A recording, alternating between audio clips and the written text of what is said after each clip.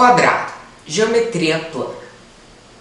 Mas antes de começar o vídeo, se inscreva no canal, ative o sininho para chegar até você as notificações, deixe seu like para o YouTube recomendar o vídeo para mais pessoas, compartilhe com seus amigos que eu tenho certeza que esse vídeo vai ser de grande ajuda para muita gente e comente aqui embaixo o que você achou do vídeo e dos exercícios. Então vamos lá!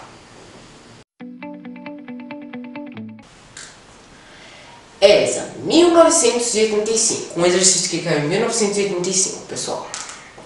A área de um quadrado mede 81 centímetros quadrados. O perímetro deste quadrado vale. Bom, pessoal, então eu vou fazer aqui o quadrado.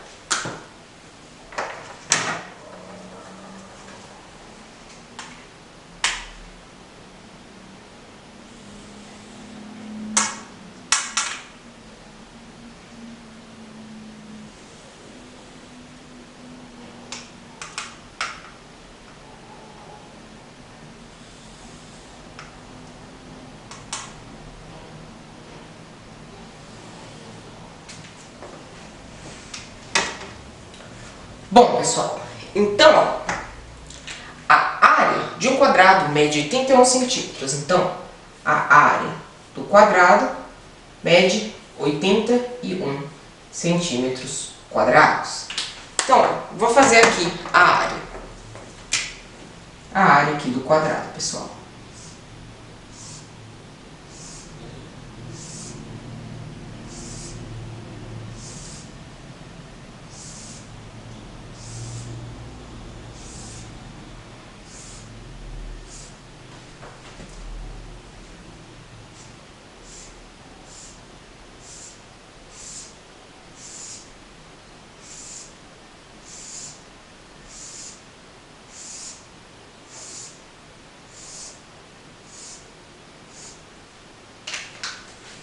E eu quero saber qual é o perímetro desse quadrado.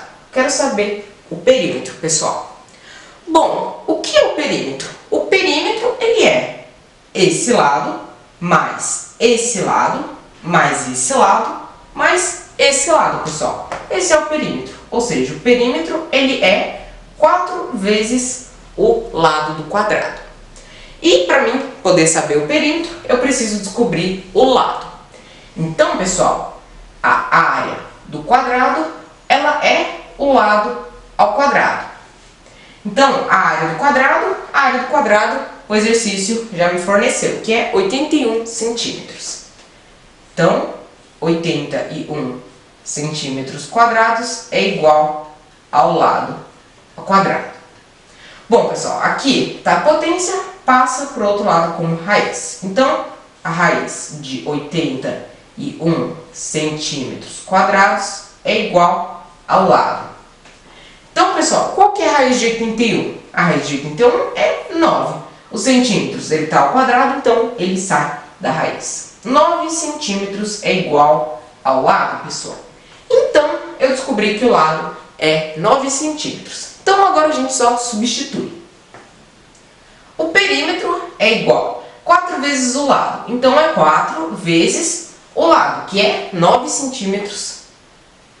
9 centímetros. Então, o perímetro é igual 4 vezes 9. 4 vezes 9 é 36, pessoal. 36 centímetros. Então, vamos olhar aqui. Ó. Alternativa A, 9 centímetros? Não. Alternativa B, 18 centímetros? Também não. Alternativa C, 27 centímetros?